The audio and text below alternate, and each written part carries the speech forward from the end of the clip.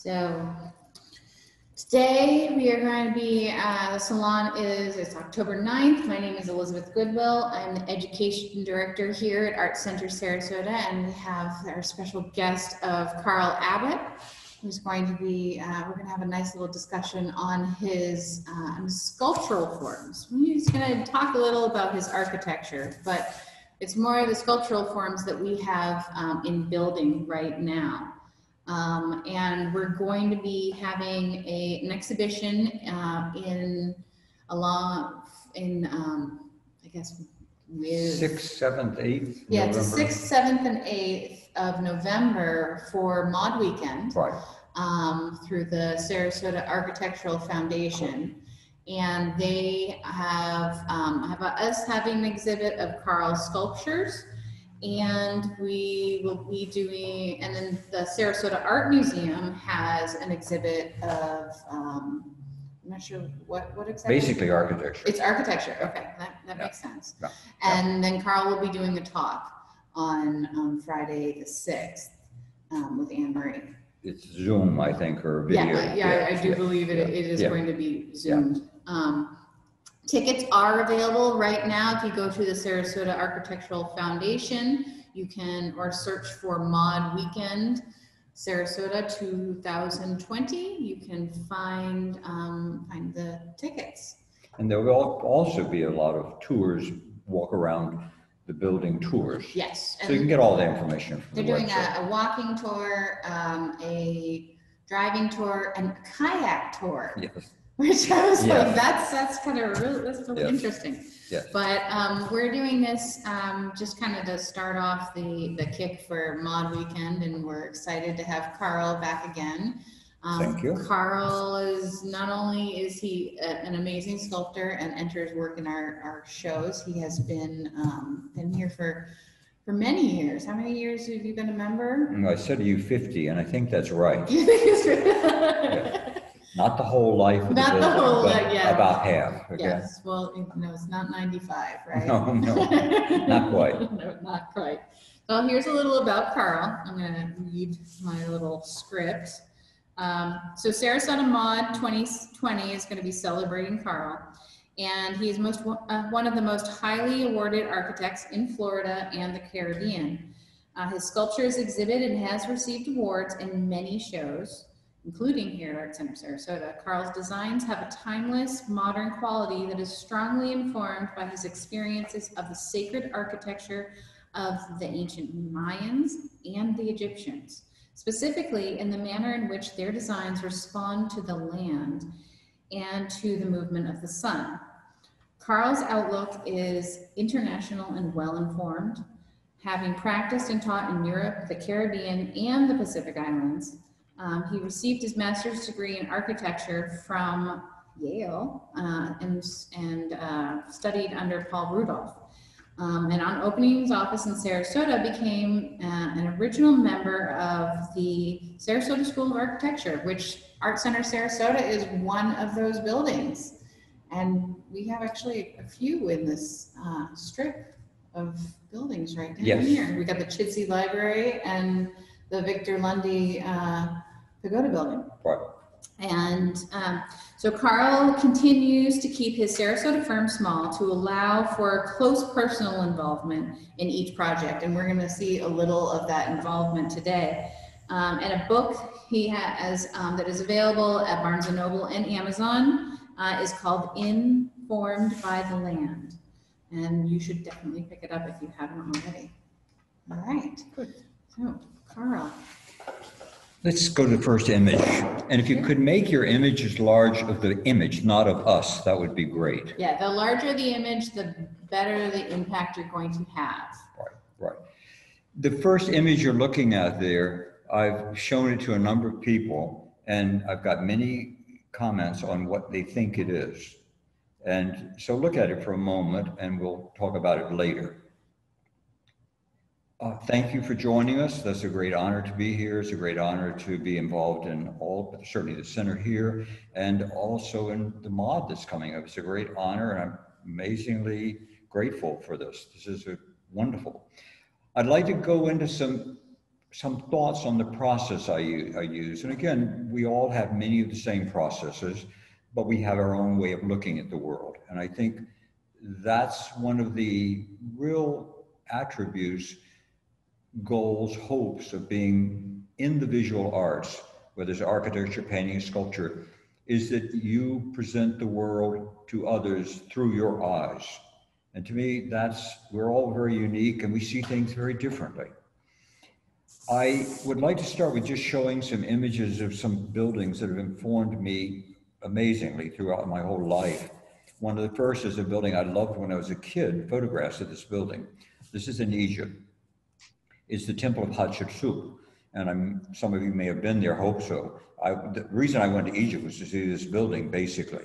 And I went there about 10 years ago, and it's well worth the trip. It's an amazing structure.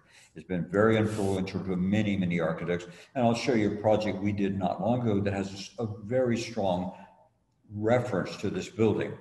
Next is a building in uh, Yucatan, the Maya civilization I will talk about because it's really affected me in a very strong way. It's informed me in a lot of ways.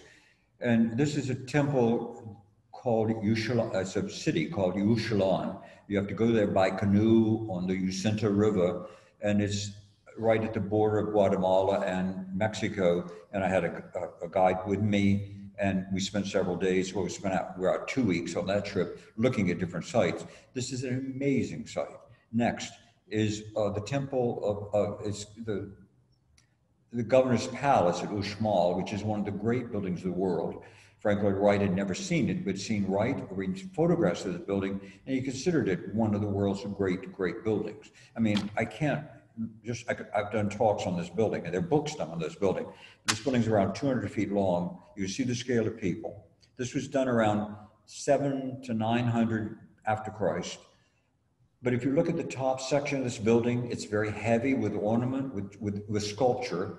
It's heavier than the bottom section. That, this is all very thought out, very methodically worked. The, the top is reading is heavy, pushing down. And yet in these gaps between the three sections of the building, there are arches that shoot upwards. So there are, there are amazing things happening. The spacing of the doors are all symmetrical, coming from one end to the other. They're all different, the spacings of the, of the doors. Amazingly, amazing amount of thought has gone into this building. And I'll talk more about the Maya in a few minutes. Next is this wonderful building that I think most everybody knows or knows of it. It's Ronchamp by Corbusier, done in the 40s, 50s. One of the world's great, great buildings of any time and time in the world. Next.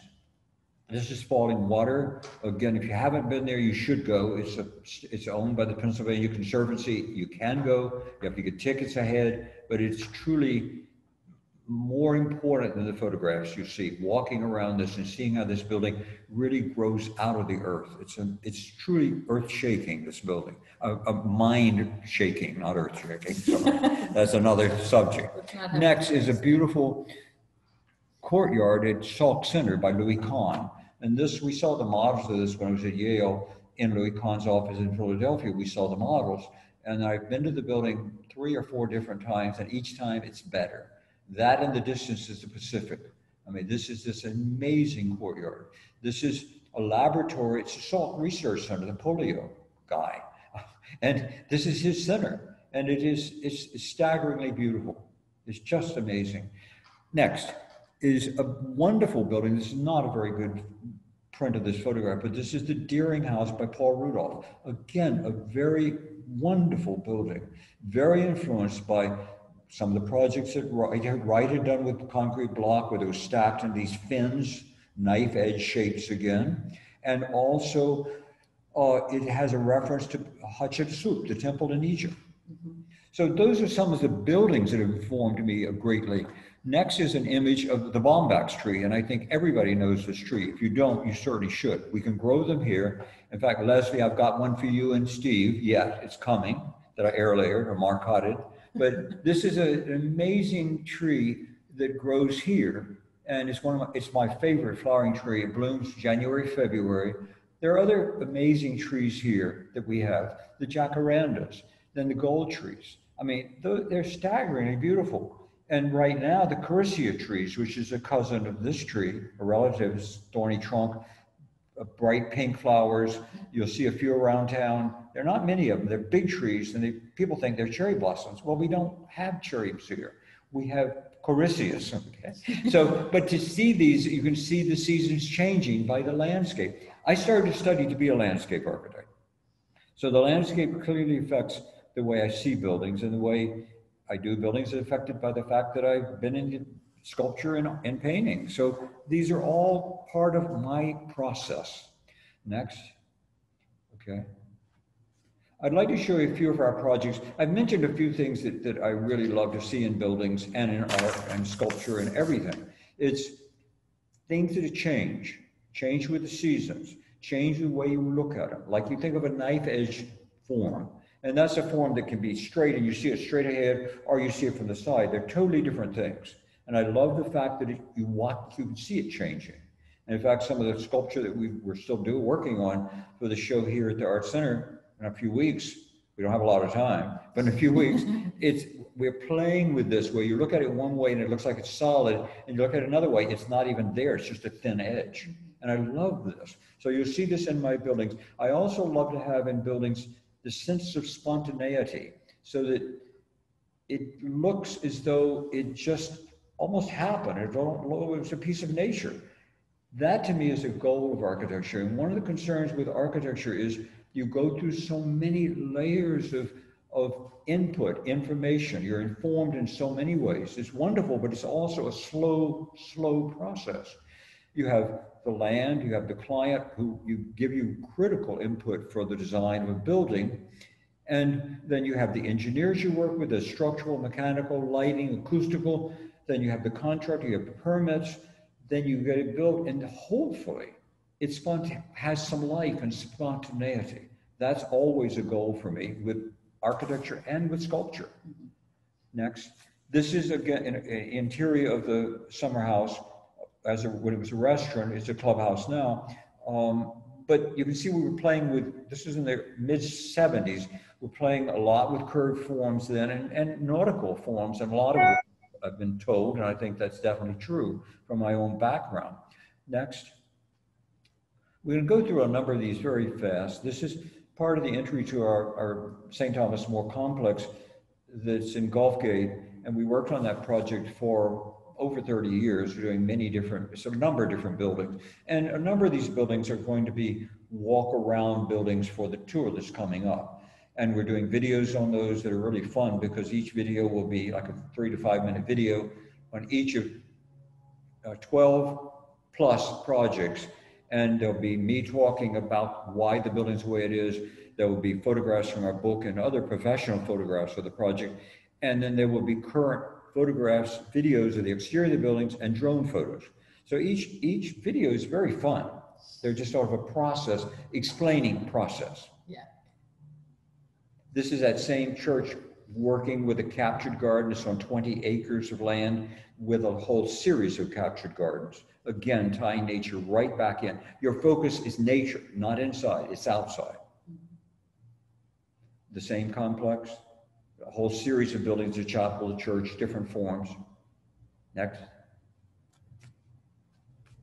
A house we did, again, in the 80s, very different from a lot of the buildings we were doing. This is all basically wood, and it's a floating building. And that was the intent, to be very light and delicate. It's on the beach, but it's it's it's almost floating.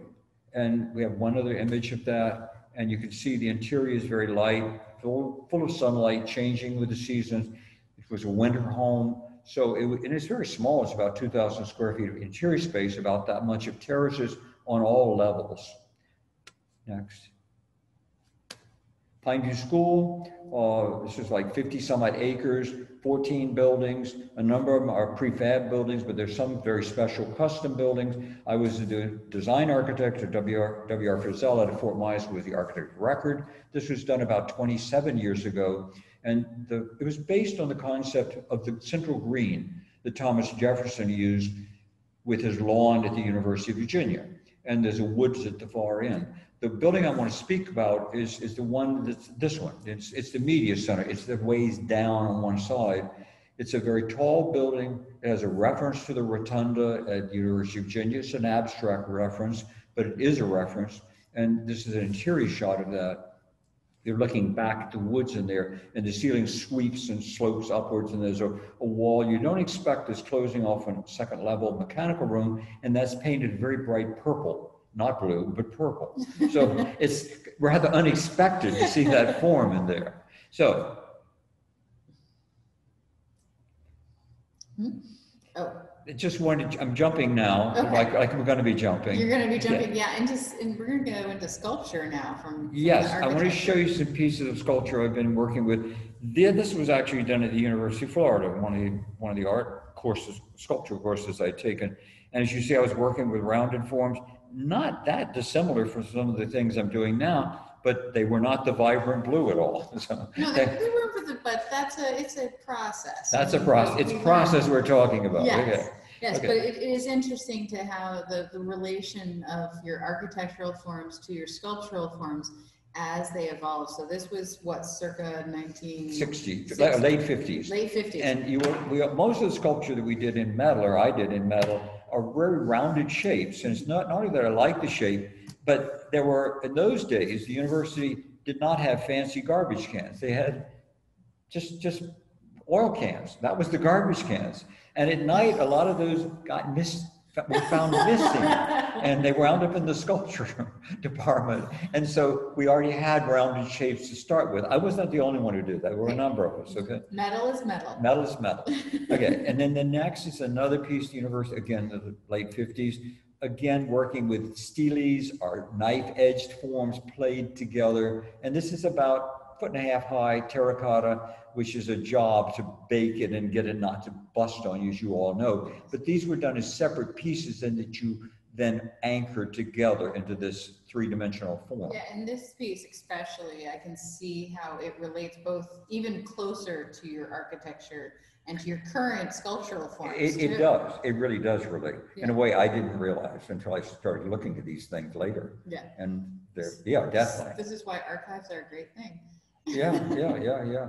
This is the show up in Dunedin that, um, I think most all of you from the Art Center came up for the show. We did, it was an amazing It- show. It wasn't just me, it was a whole number of artists from the center here. Mhm. There were five art, artists chosen Yes, Several of us were sculptors, and I was chosen because of a piece that was shown here. And um, it got a ribbon in the show, and the curator, who was the jury here, invited me to be in the show there. And I talked about the piece, and he wanted me to do a cluster of pieces. And so we came up with this Maya symbols, uh, uh, stations of the, of the, of the, of the, of the compass, north, east, south, and west. Each of these four pieces has this, a shape that's different once you get in it. They actually have an east, E, W, N, S in the shape of the cuts in them. They're very subtle, but they are there, there, and you can see the scale of them. These will be done here. I like how this one, the way that you set it up was that people are supposed to walk through it, mm-hmm. interact with it. because of- Interacting. Yes, And Nathan, the curator up there, he and I set this up. We worked on this. I talked about it later when we had a talk up there, that we did this like I would work as an architect with him. He said, he told me he wanted central. I said, but it's simple, it's gonna be too dominant. He said, no, I wanted central, so that you see the other artwork through yours, and yours we walk through. So we worked together and we set it around floor outlets, some of which showed, but, so there were things we were bound with. And, and, in just, I'm sorry, but it's a detail, but the bamboo in the middle, I kept very concerned about that falling over. And we have it anchored pretty well, but I called Nathan a number of times before the show opened. And I said, Nathan, I'm really concerned. We really need to do more to anchor that. He said, this is only going to be here for about a month. You're thinking of it being here for 20 years. No, you're an architect. No It's not going to fall. Don't worry about it. So, and it didn't fall. It Now, did not now, fall. did you find as you were standing in the gallery that people were actually walking through the Yes. space? Oh, yeah. That's great, that they weren't intimidated by it. No, people walked in. It was big enough. We had it big enough to get, it was actually ADA, so you could actually go wheel, wheel, you know. Yeah, we, we gotta, we gotta conform to those. Oh, yes, those yes, yes, Guidelines, yes, which is yes. necessary. So it worked that way. Okay, just go ahead. This is a piece I did very recently. Um, uh, was in a show spinning, which it does spin, and I'm probably spending too much time on these, but let me just comment. Oh. This was informed clearly by Duchamp's wheel, bicycle wheel. And I had a bicycle that I'd saved since 40 some odd years of my younger son's bike that he learned to ride on finally. It was like a miracle because he kept trying and didn't make it. And then finally, he just took off on the bicycle. And so I saved the bicycle. And I wanted to give it to him. And I thought about painting the whole thing blue, but that's pretty big. And then I was in New York to do some talks in December, went through the modern, the new wing very quickly. I saw the Duchamp and I had seen it. There were several versions of it actually. And I read about it. Originally, the wheels did spin. It's sitting on a stool. And I thought, this is really interesting. Maybe I can do something out of Mark's bike to have a reference. And this is a variation on that. Mm-hmm. And it's painted bright blue, which Duchamp did not do. But he had this, the, the, a lot of elements. And I call this uh, Dada 100 plus, mm-hmm. all in reference to Duchamp. Mm-hmm. This is a motor. And I love the shape, and as you see it and you move around it, it's totally different, and I like to move it. I originally, sh- it was in a show here, and I had it horizontal. I later decided that was totally wrong. It belongs to from Tim, I gave it to, and it worked better vertically. It works better vertically anyway. You can put it horizontal. Well, you, you come into the shows every so often and you'll just rearrange your Yes, I do rearrange my pieces when they're here. It's not legal, but I go in and, and change them, and I put, often put a sign, touch Yeah, or move. We'll come around a corner and go, wait, it wasn't that direction earlier. Carl's been here. We're gonna have to speed up here. Yes, we are. Okay, this is another piece that was in a show, Tongs, which has certainly a reference to Oldenburg, and this should be about two stories high. That's a reference, and a pond. Okay, I like that idea. okay.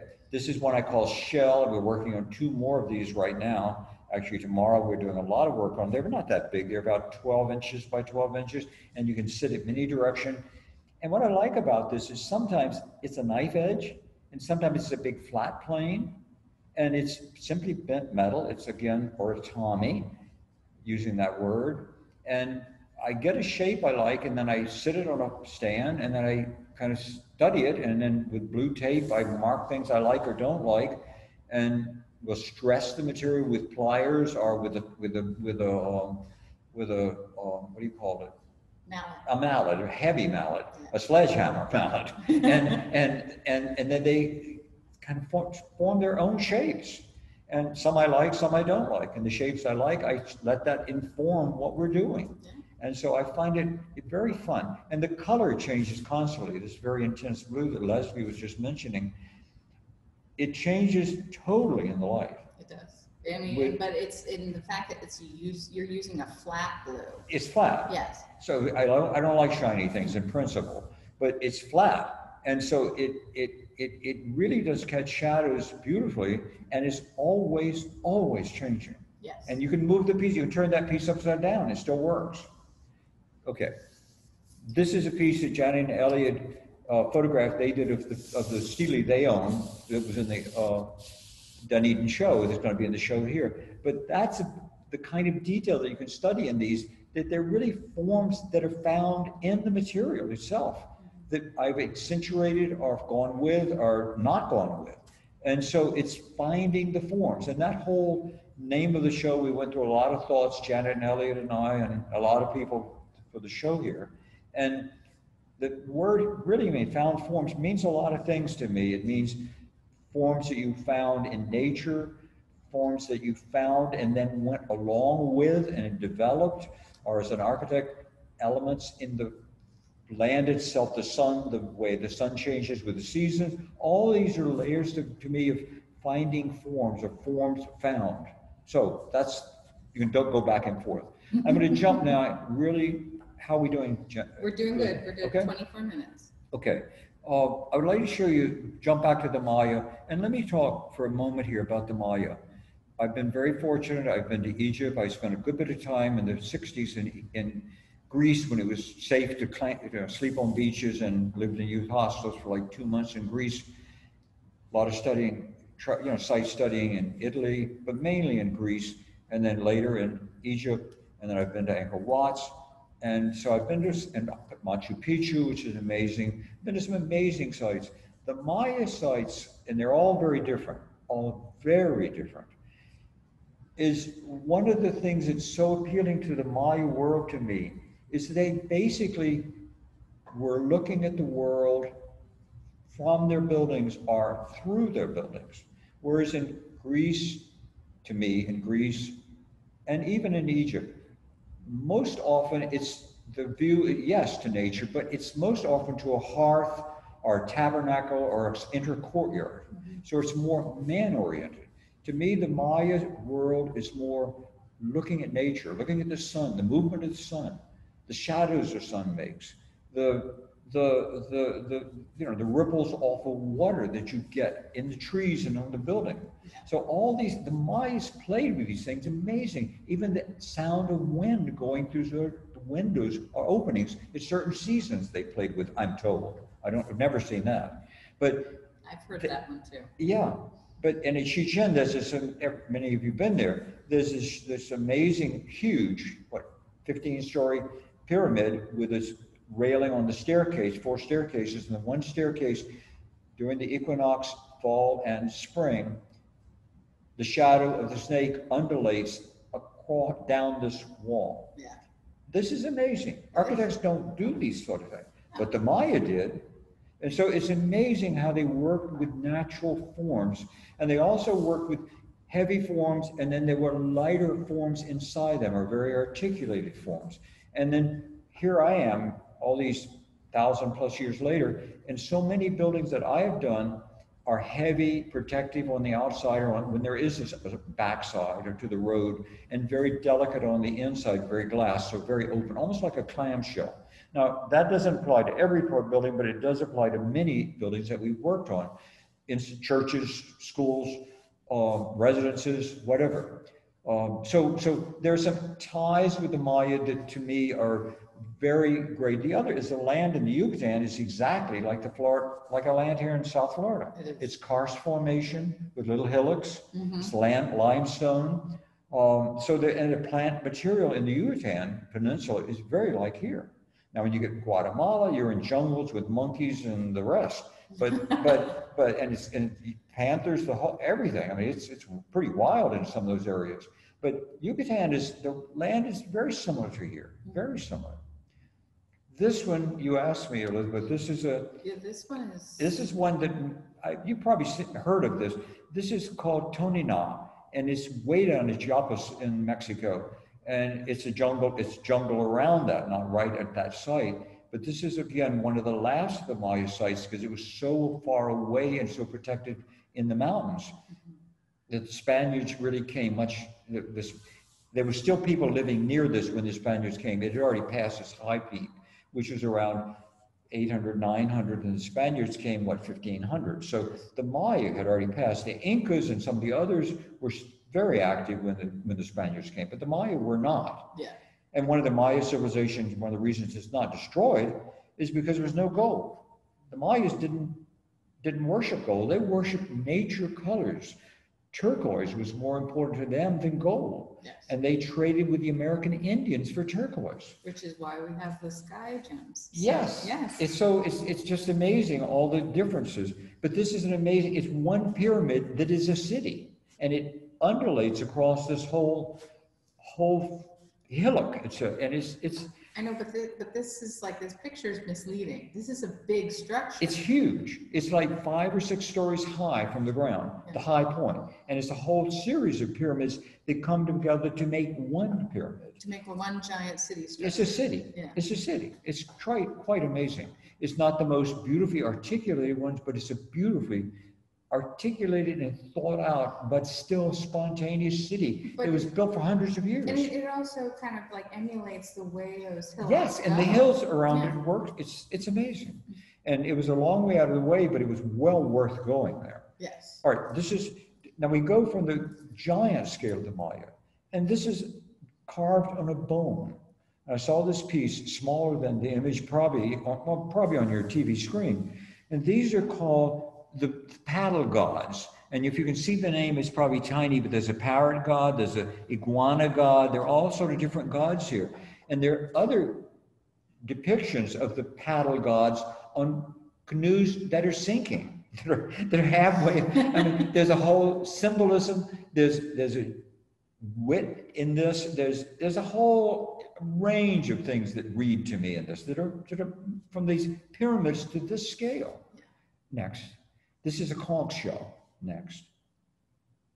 This is a very famous, a little bit smaller than, well, not life size, but a little smaller, of Pakal in, at Palenque. This is absolutely beautiful. And you've got to realize the Maya had no connection, except way, way back to, to Asia, but they had no connection to Asia or the, the current at the, uh, what, around Christ's time.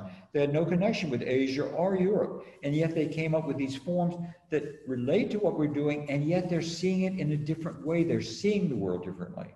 And to them, everything they made and touched and trees were sacred, which is very different from the European approach where it's more oriented towards man. Asia has much of this, but I have never seen it the way the Mayas do it. Next. This is, I'm going to move very quickly. This is about six inches long. It's a lintel stone, it's called. That's a carving around 500 after Christ, roughly. This is a drawing of it. And then next, this is like, here's the drawing again, and it, look at the person there, the, the, the captive right there. Look at the bottom, the one on the bottom over there. So you can see this is a collage basic of all the different elements. And the Maya did this with most of their work. They would put layers of symbolism over each other. And they had a written language and all these amazing other things.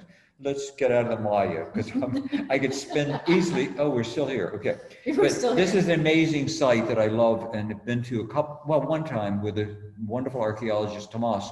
And this is on a hill, about a four-story hill in a big pasture. This is called Xkichmook. And you go up the hill and then right in front of you is this next, that's showing the height is about 64 feet. Next image. This is the building and then the next image. That's the same image with a circle, red circle about a person. Right. This is six stories high.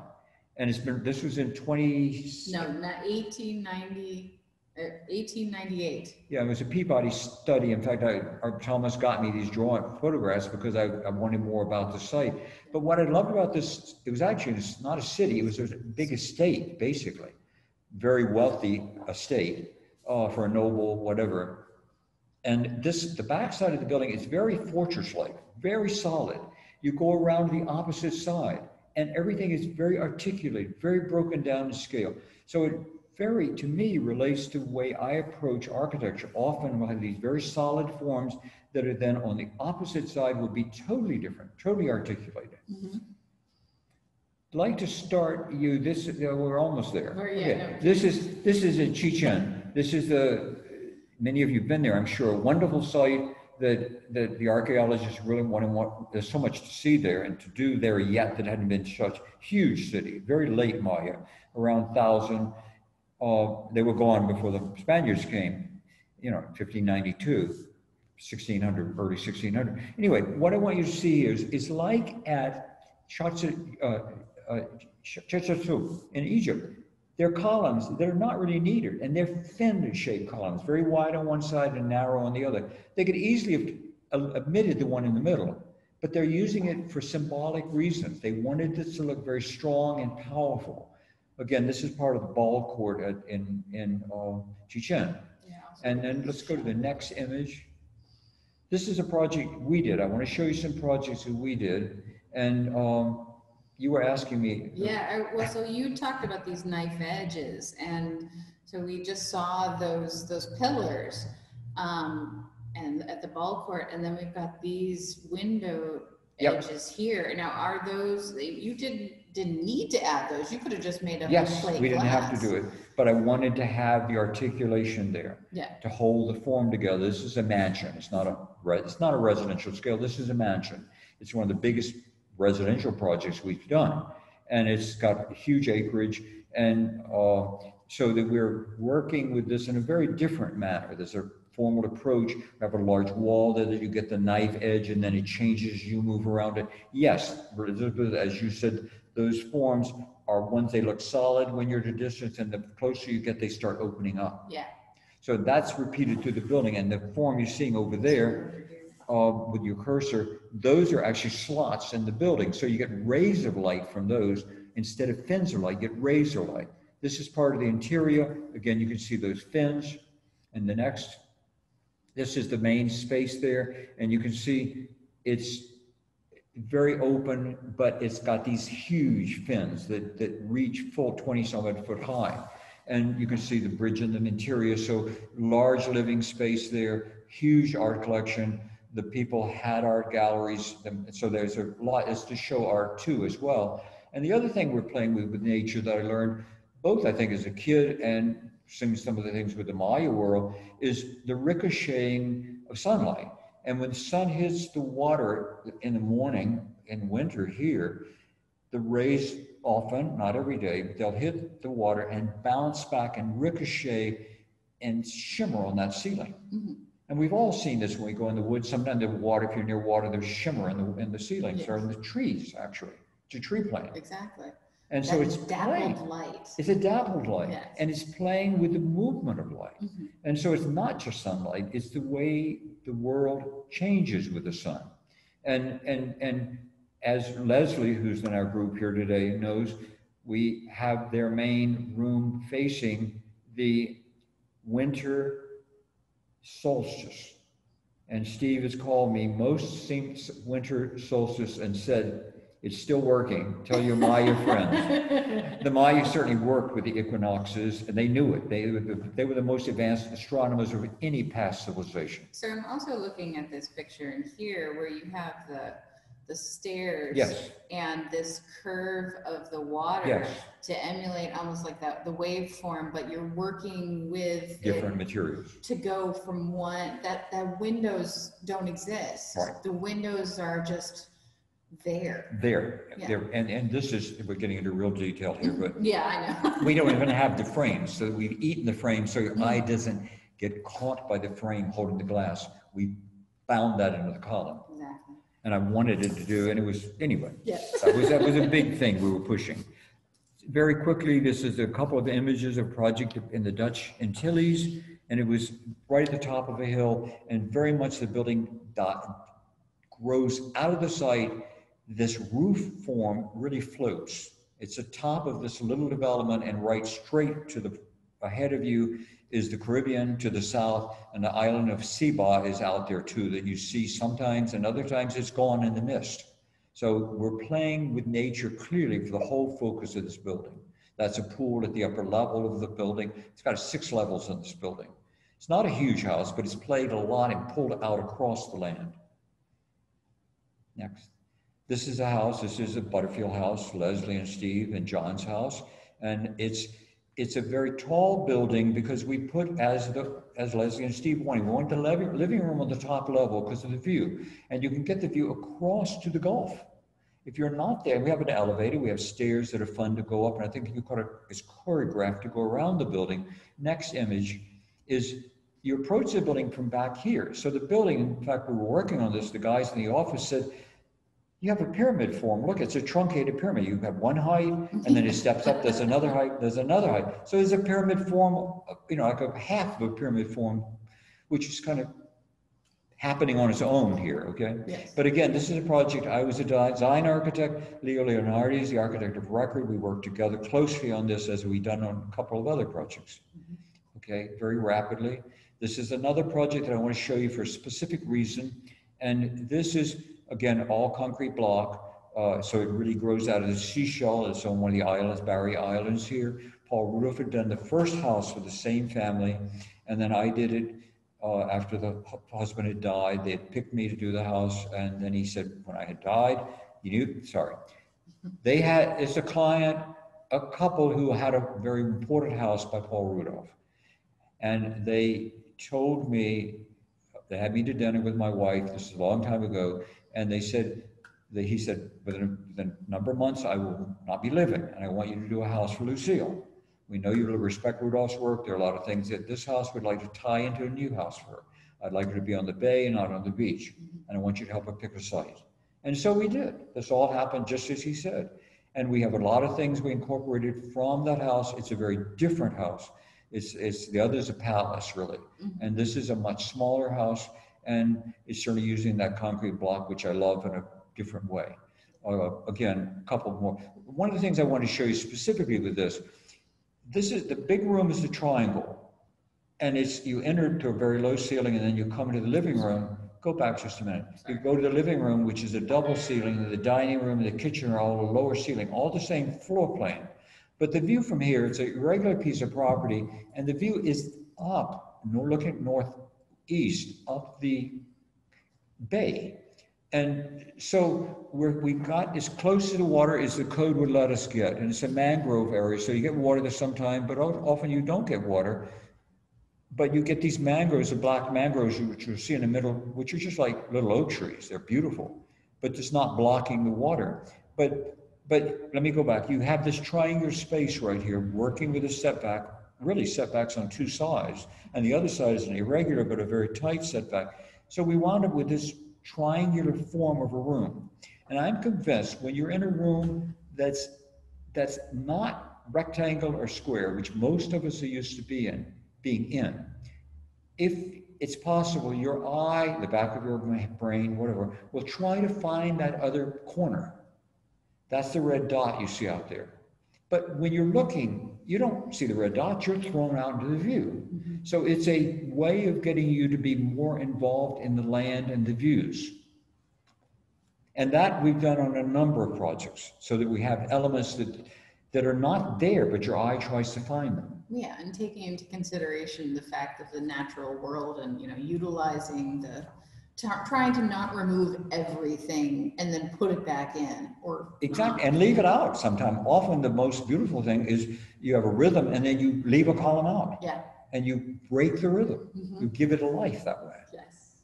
So that's the same job per project, small residence with these um, black mangroves that are just beautiful. And, and the red mangroves were done by code, are very low, and they're not in that area. Mhm. Next. This is, I'm jumping back to the Maya because it, I've been influenced by others too. And the, and the, in the, in the Mycenae are wonderful in Crete, the, the way they work with stairs. I love that area too. This is, again, at Chichen, it's near the Caracol. And look at how the stairs, it's very wide, and it's the same riser tread, but it's narrower. And on some of the pyramids that I've seen, it is a wonderful site called Yaxha down near Belize. You're just right across from the Belize border near Tikal. And, but it's separate. Almost no one goes there. That's what the archaeologists have all told me. But it was, it was nobody there when I was there, a big site. And it had pyramids that would do this. There'd be wide stairs, then narrow stairs, and then narrow stairs and narrow stairs. So that they looked taller because they was playing, they were playing with perspective. Mhm. If they'd stayed the same width all along, you'd have had perspective, but not as extreme as they were playing with, They also working played with. with the depth of the The stairs depth as too. well. And Yeah. we all think of Maya stairs as being, you know, so tall you can hardly step right on, step on them. There are some that way, definitely. Definitely the Egyptians. Well, but you can do it. If you're careful and you do it sideways, you can actually do it. They're Mhm. not unstep about three inches wide, the narrowest I've seen. Yes, But they also have some stairs that are seats. yes. And they're very spread out. So they're really for ceremonies, Mhm. for sitting on. So let's go to the next. This is one of the last jobs. And it's a residence we did, and you see the stair reference here, right? Next. This is an all wood large project we did. This is going to be on the tour coming up soon too.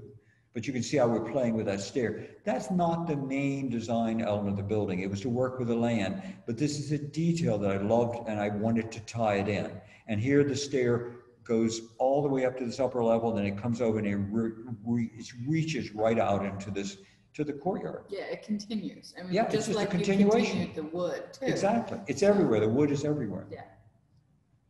This is a wonderful building. It's uh, the Napuk period. It's not far from one of my favorite sites, Uxmal. This is Sayil, the palace there. That's just beautiful. Now, let's go to the next one here. Again, this is a project we did that looks very, you know, the sun's hitting only Sparta so it's a little flat. But this is a, a house we just finished again. I was the design architect, Leo Leonardi is the architect of record. It's a, it's not a residence. It's not residential scale at all. This is a, a palace or a mansion. It's a big property. It goes from beach to bay. It's about two acres. So it's a lot of land and it's a big, big building. And it's designed to work on this land and use the site to the maximum. It's got about 200 feet of Gulf frontage. Let's go to the next image. And that's an- a drone shot of it. So you can see that we broke the building so because it is so big, we broke it into two chunks and connected it with a air-conditioned bridge. And the back side of this building, if you think of a seashell, the hard side of a seashell, and then everything facing the water is glass. And it's two stories with a ground level gym and some other areas on the ground level, but it's basically two living levels, a ground level, and a roof terrace. This was before you put the spiral staircase in, wasn't it? Yes, Yeah. yes, yeah, yeah, Elizabeth had been here, Yeah, right? Under construction. Under construction. Under, yes. a number of you from the Art Center were good enough to go down there with me. That Yeah, was it- great. It was a, a great adventure. I mean, just to see the house as, as the. As it form. processing, yeah. Yes. And again, this is the entry side. You go up a really, a sand dune. Mhm. These very, I don't know if the stairs were there. Were they there when you were there? The stairs were there, Okay, but I don't know but the the sand. lands, the landscaping wasn't. Yeah, well, then we did the landscaping, that's changing, obviously. In fact, within a, within three years, you won't see the house on the road. We brought in banyan trees and all kind of trees, so the house will be totally not there. And it's colored beach sand, Mhm. so it will blend in. And so let's go to a couple more images. That's an image you all have seen before, right? This is the stair, it's a staircase. And if it's not making any sense, if you look on the left side, you'll see a handrail. That will give you the clue. This is a stairwell going up in that mansion on the beach that we're just looking at. And there's a skylight that's above us, still another level. So it's, it's a, it's a piece of sculpture, that. And we were playing with making that wall area where the circulation all occurs heavy.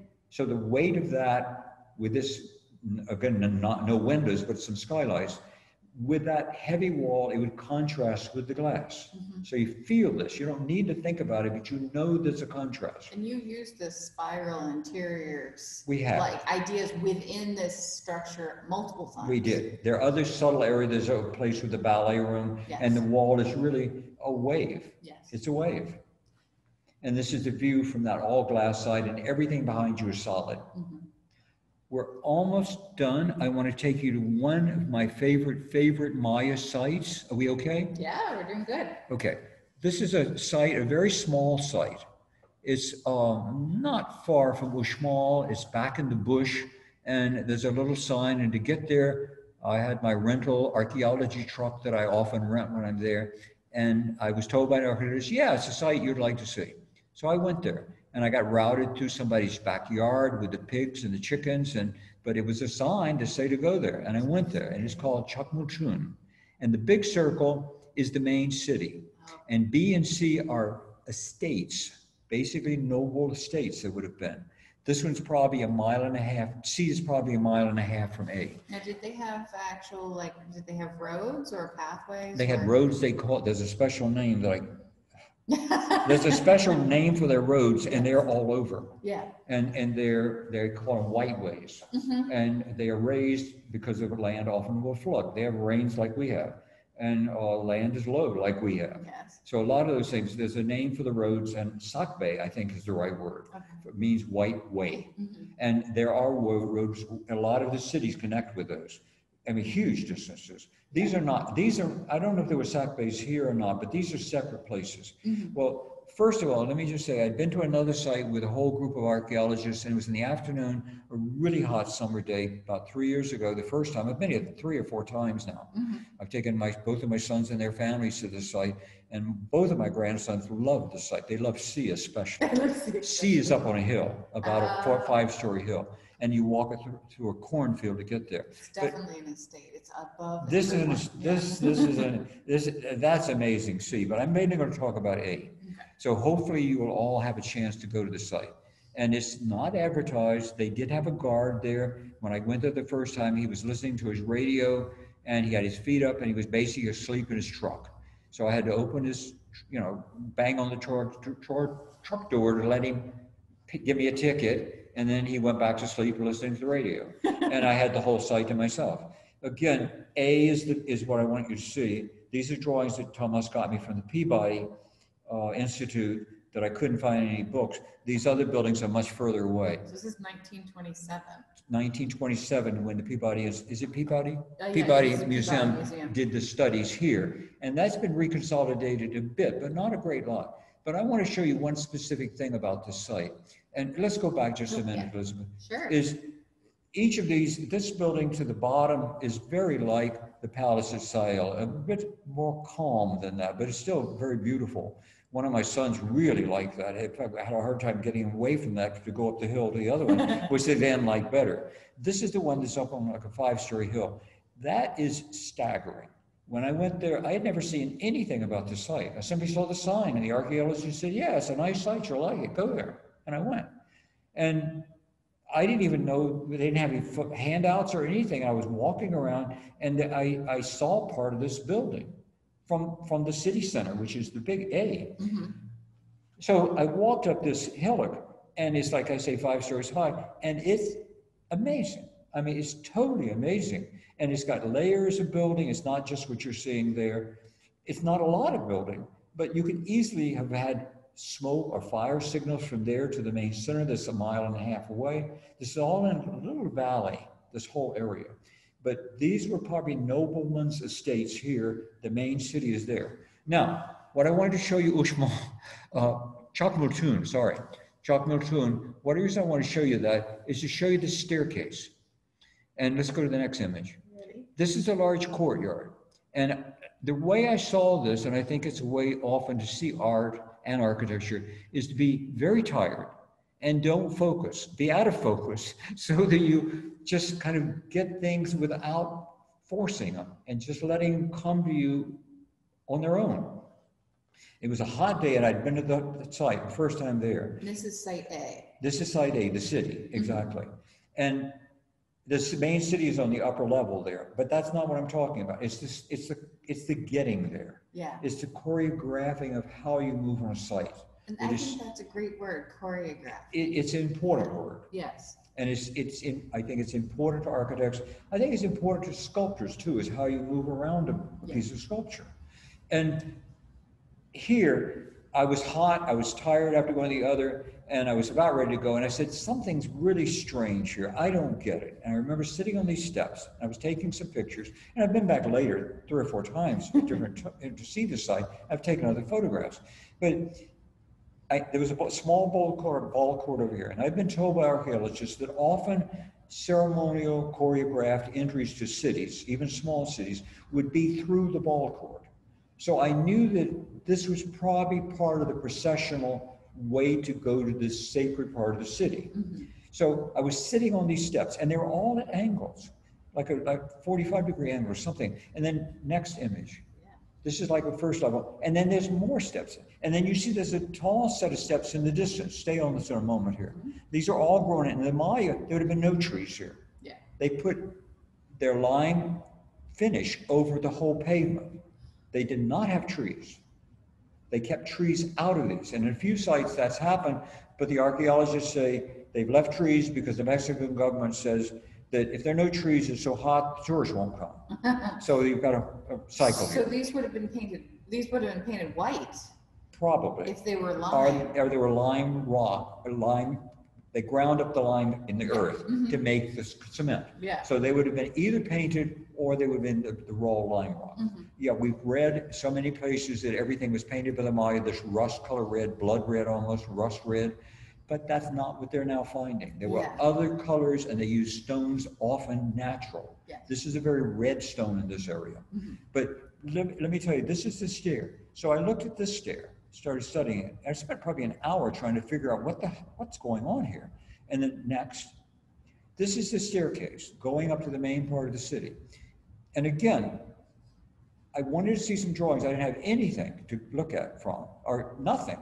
And so if you look at this, and it's hard with these photographs, but it looks like that stair is going up. It looks like this wall here is growing out of that stair. Well, that wall goes on for 200, 300 feet, and the ground drops off as you go along. So that wall that looks like it's growing straight out of that, go to the next image. I think this will help. That wall looks like it's doing what my red line is there.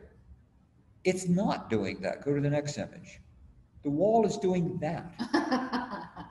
Now, what they are doing, I'm convinced, and I've talked with the archaeologists about it, and some of them think I'm crazy, some think I'm really right on, is the Maya were playing with their with the sense of perspective. Mm-hmm.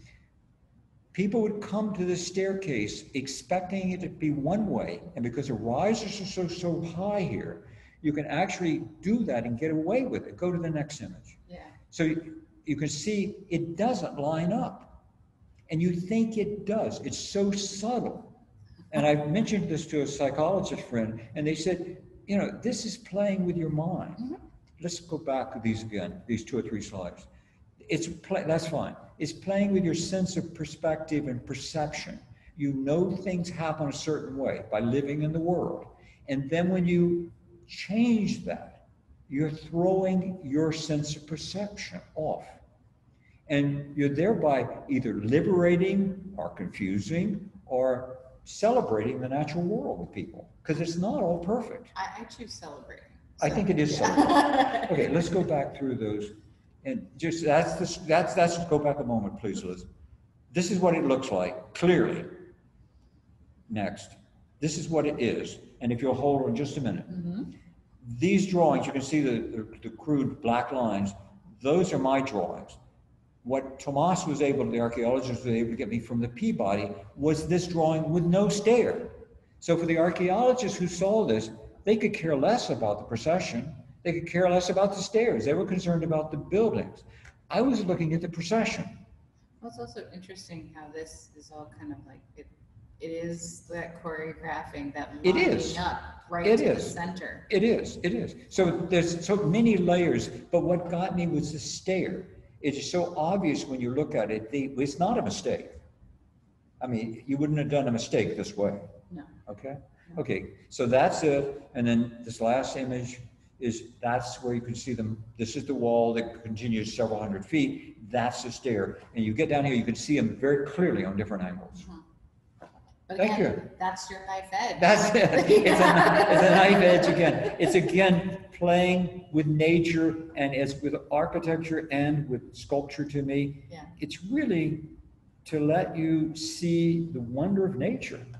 It's to let you, you open your eyes to things that you didn't see that way before. Well, and we were talking about this yesterday when you came in and we were Yeah. looking at the sculptures, how we were trying to fix, turn things around and you were like, I want to be able to see right through that. Yeah, through it. Yeah. Exactly. But again, nature is a wonder and that we should all have that opportunity and use it Yes, to explore it exactly. constantly. exactly. All right, well, thank you, Carl. Thank you. Um, I appreciate it. So next salon is going to be on November 13th. Uh, the topic is to be announced. I think it's going to be photography. I have to get um, that confirmed with Simone. And um, we are always looking for presenters and topics. And Carl was kind enough to be the speaker for this one. Thank you for tying it into the mod. That's I great. know, It just like kind of fell into place. It's fate. I, I love how that happens. Yes. Um, if anyone. Spontaneity. Serendipity. serendipity. Yes, There you if go. anyone uh, is interested in being a presenter or has a topic to suggest, um, please email me at elizabeth@artsarasota.org. Um, you can be a presenter or I can present the topic. I'm looking for artists and anything you're interested in. Um, and if you have enjoyed our online Salon d'Art and our other virtual programming, please consider donating to Art Center Sarasota. There's donate pages all over the website.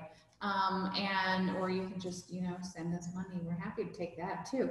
But please, um, we would like to, and we are planning on continuing this online programming. Salon happens once a month.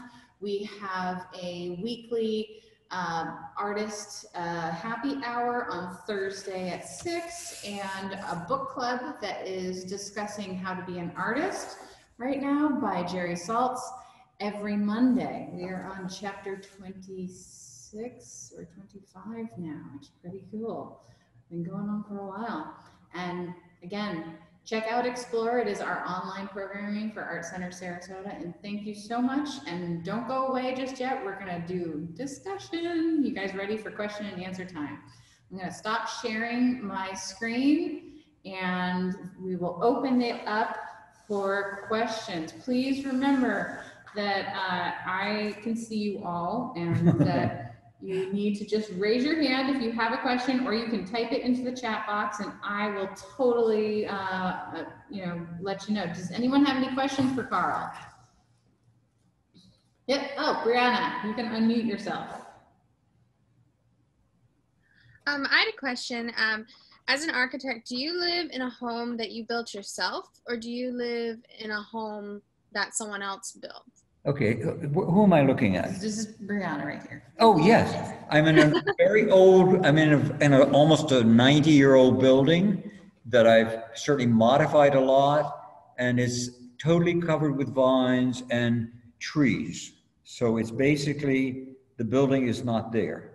But it, the oh. spaces are there, but the building is, it, every room is now looking outside in a way that it never was before. So it's been very modified.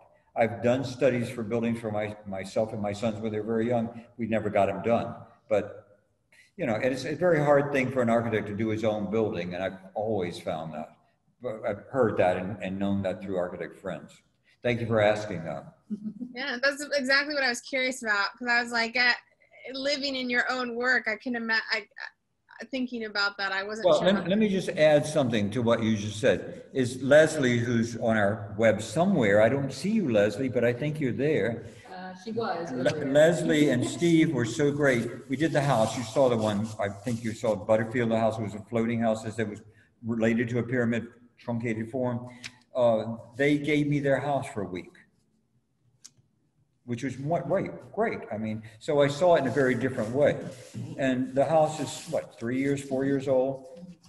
And it's a great honor to be able to go into a project that you've done and spend some time because often the first uh, part of my time when I go to any building is looking around and see if they work, see if things work, not letting them come to me, but me checking them out.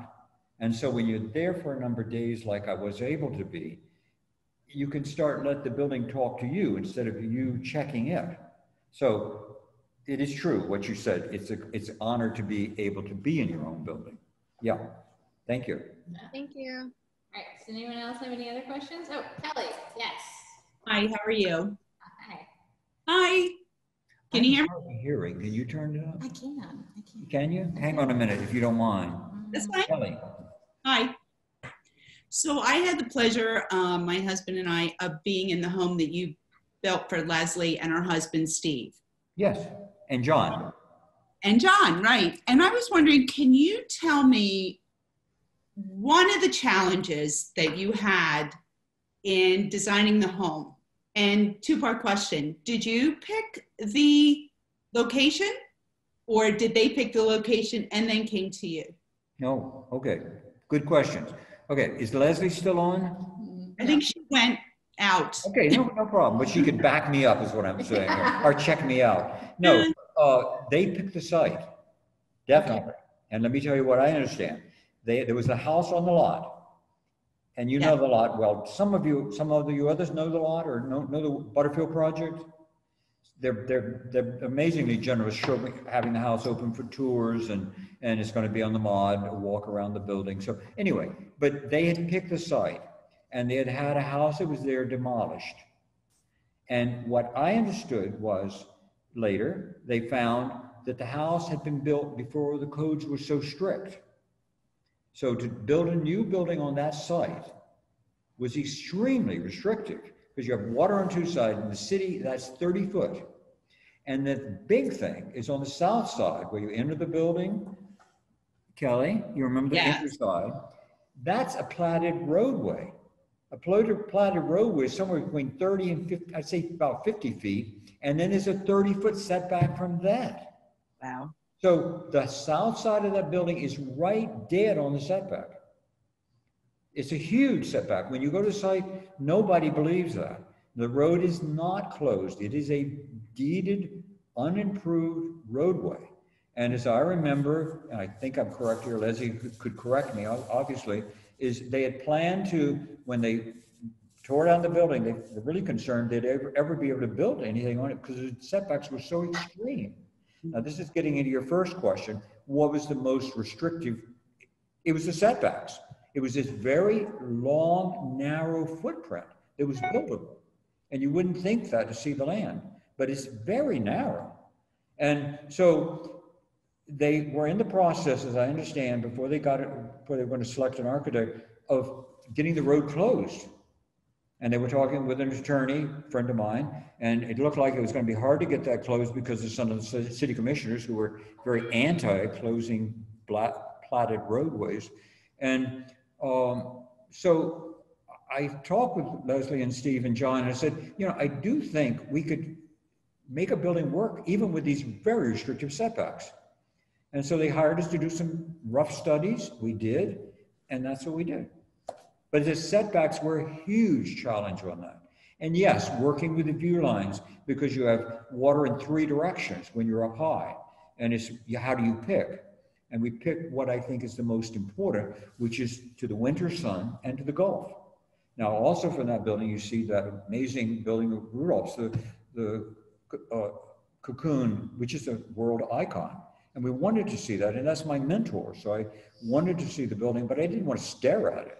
So you see it, the pool on access to it on the ground level, but the main room is looking the other direction.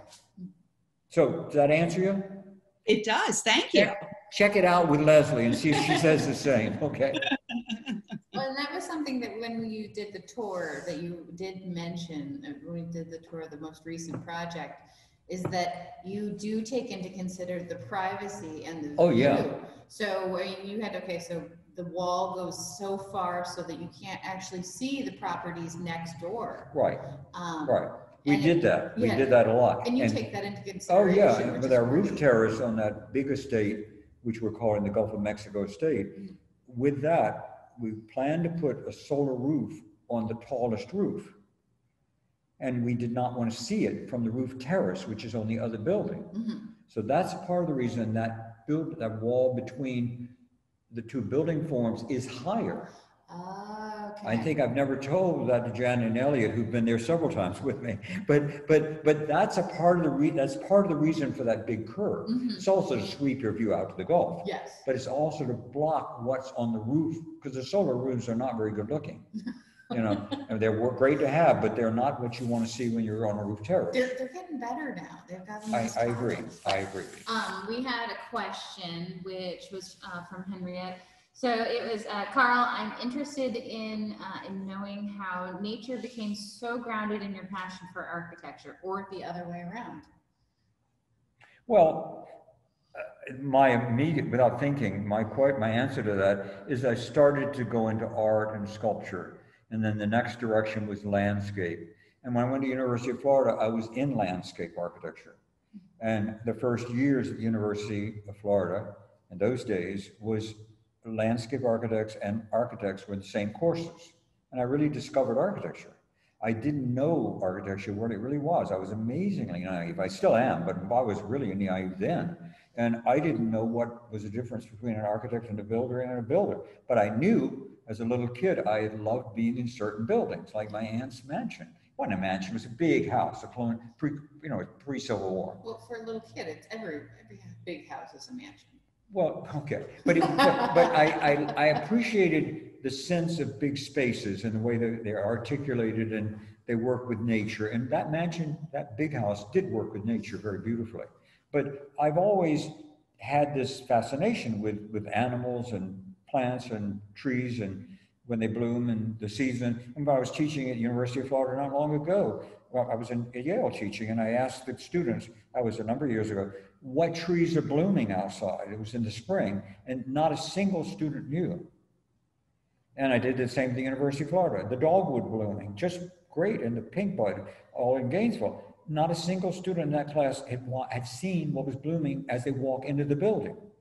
So it's a thing of, and I'm not meaning this as anti-architectural students, it's just that we don't, most, all of us are so busy, we don't see the world around us. And there's amazing beauty in the world around. There's also non-beauty around us, but there's enough beauty around us that, that, that, that you want to make it a focus if you can.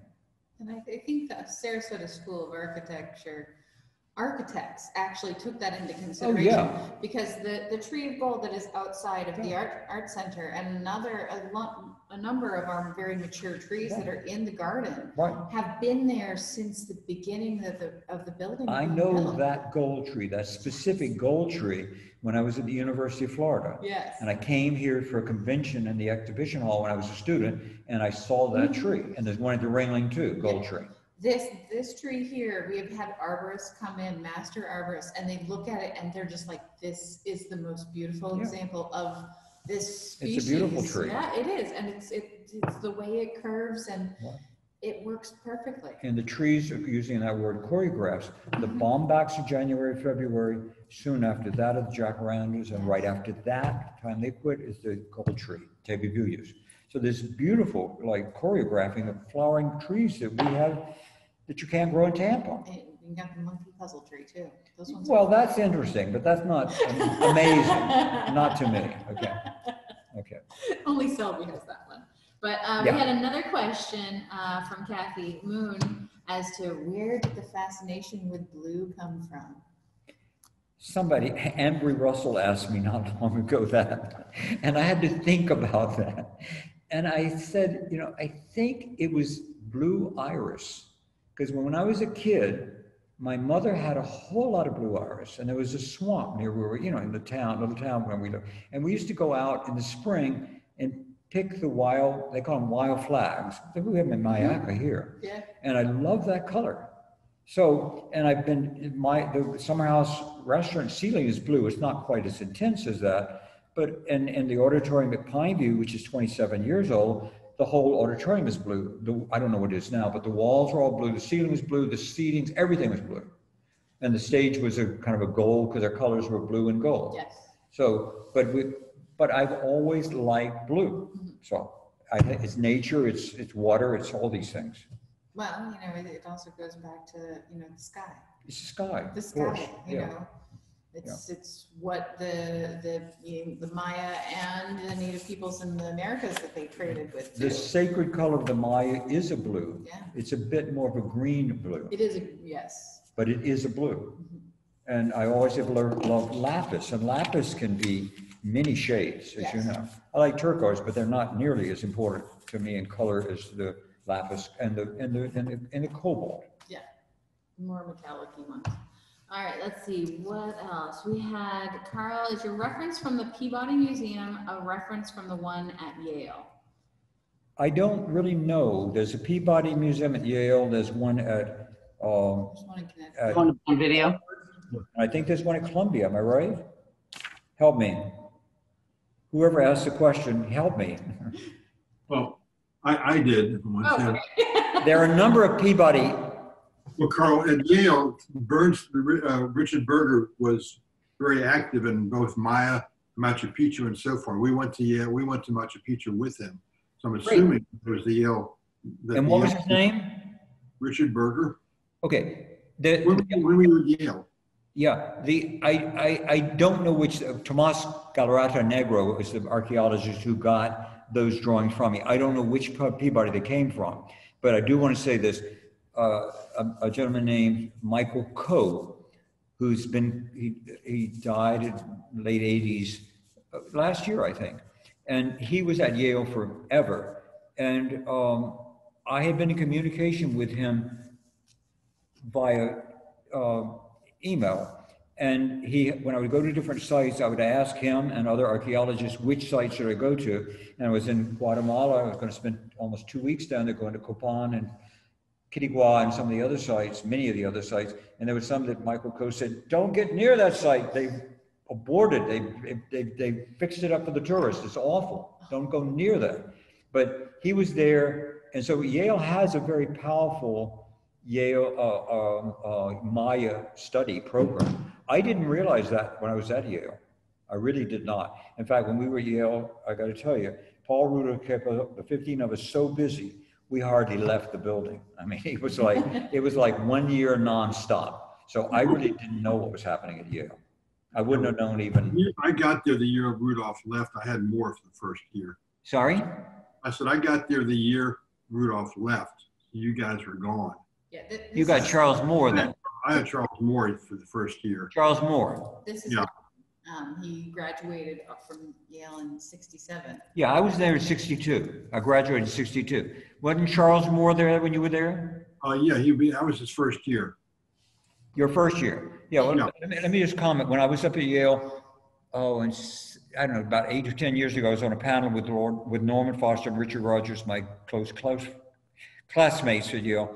But I asked, because Bob Stern was the dean then, I knew Bob pretty well, fairly well, because he was an undergraduate, I was at Yale. And I asked, where are the projects that were putting the, the student morgue? And that's a strange name, but what they would do is they would, when you do projects, each person would do individual projects. I'm sure you know what I mean, but I'll tell the other people here. And one or two projects we, we kept out of each group of projects that were done, put in the morgue to be stayed, saved basically forever. And I was fortunate to have several projects put in the morgue. And my friend Norman Foster did too. And Norman and I were asking Bob Stern, is there a way we could see what's in the morgue? And what he said, when Charles Moore became dean after Rudolph, he hated Rudolph so much and everything about Rudolph, he burned everything in the morgue. Oh, Oh, ridiculous. no. So- Maybe that's why Stern and I never got along too well afterwards. but So Mr. Mr. Moore is another world, okay, in terms of architecture. We don't disagree at all. Uh, he and I didn't get along very well. I don't disagree at all. Okay, gotcha, gotcha, gotcha, gotcha. Good. Have any of you been to Maya sites? Have have some of you No. been to Maya sites? Uh, Through Scully and through the Peabody, yes. Sorry? Through Scully and through the Peabody, yes. And then we went down to Machu Picchu. But You the went Maya in, sites, Machu- I- well, you, with the Peabody, you went to what sites in the Yucatan, in, in the Maya world? We went to Machu Picchu. Then I uh, just studied through Scully the other stuff. Yes, I said, you knew Scully. Scully's amazing, totally Yeah. amazing. But Machu Picchu's in South America, right? Correct. Right, right. But in any case, did, have any of you others who are on the link with us been to the Yu- Yucatan, uh, been to the Maya world? It's not just the Yucatan. Oh, Donna, what sites have you been to? yeah, you're, you're muted still, Donna. Uh, the sites, that- I see your hand Here she goes. doing something. There. Yeah, moved to uh, uh, Machu Picchu and Chichen Itza and Uxmal and I think some other places. Yeah, there's one that's on the coast that many people who go on cruises, they go to Tulum. And Tulum's a very small, beautiful site, but it's been totally overridden by, by tourism, much worse than Chichen. Chichen is a wonderful site, and one of my favorite, favorite sites is Uxmal. That is an amazing site, amazing site. And if you haven't been there, as you who've heard me before talk about the Maya world, from Miami, it's an hour and a half flight to Merida closer than Atlanta.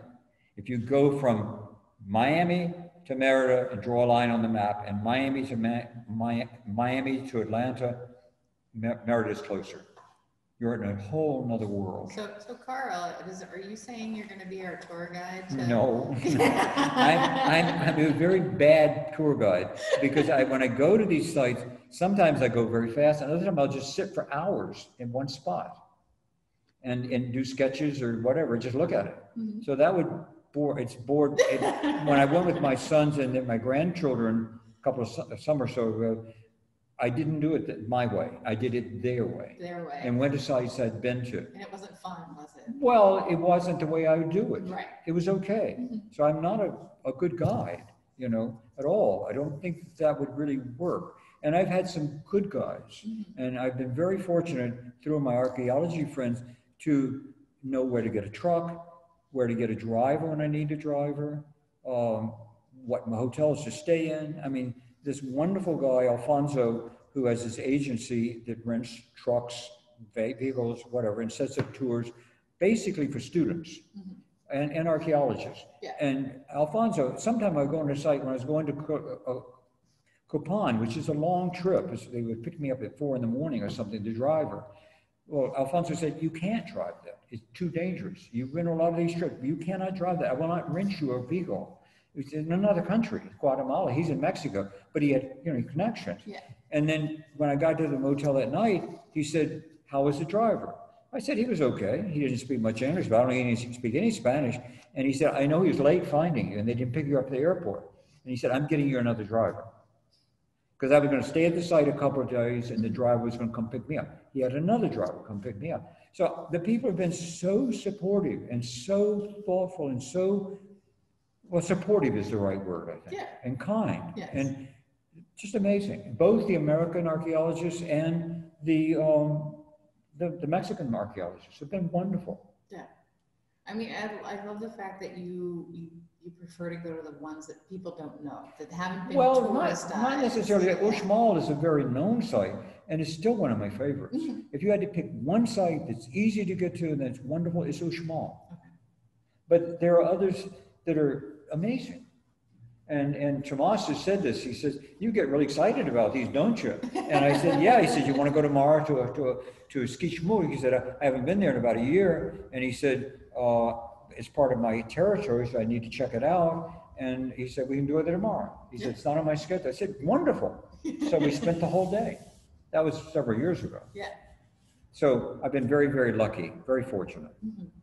Well, thank you so much, Good, Carl, thank you. sharing. Thanks everyone for joining us. And thank you, everyone. Yay! And we will hopefully um, check out uh, the mod weekend, and it's definitely worth it.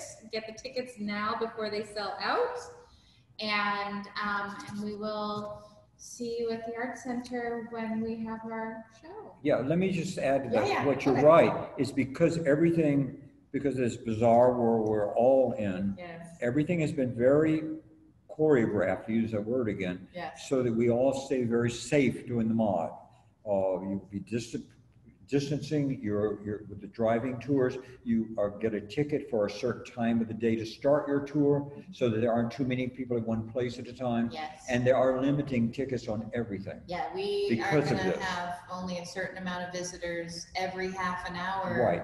The same is going for, um. The art for museum. Art museum, yeah. Same, yeah, Sarasota. yeah. Art And so every precaution is being made, but this means there will be limited access, and it's just such a great honor this is happening. And thank you, it's great to be here. Oh, I know. Thank you.